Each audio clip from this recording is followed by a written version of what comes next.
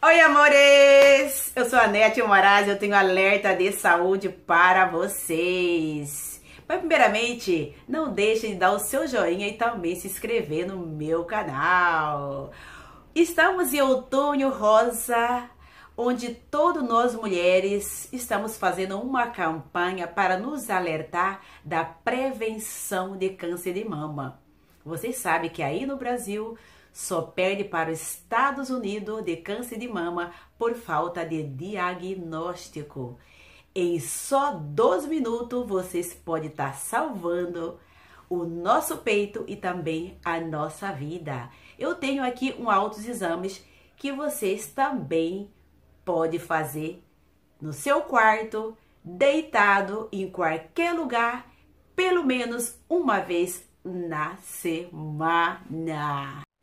Coloque a mão na cintura e observe o formato, tamanho e contorno das suas mamas, observando se estão igual ou se tem algumas alteração.